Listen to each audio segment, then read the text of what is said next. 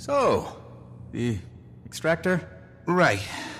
Knowing Ankka, she had a contingency plan. Looks like she set it to overheat without a proper biometric scan. I can probably deactivate it. Hmm, probably. Gorrik? It's not stopping. It's not. Ah, get away from it! Oh no. Everyone all right? Gorrik, Jory. Fine. How do we not see that coming? Can we.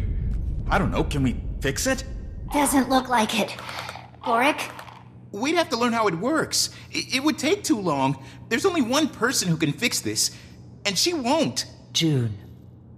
What if we could prove that Ankka was the one behind the attack?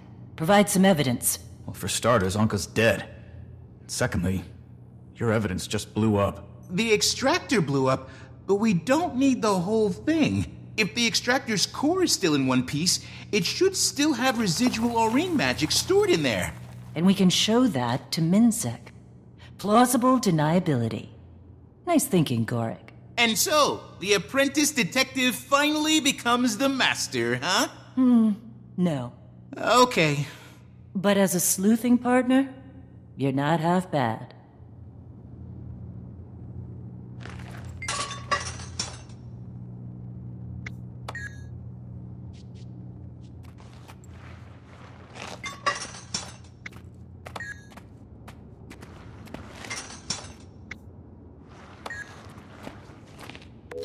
Thanks for seeing me. I didn't know who else to turn to. I'm still getting the hang of this pirate business.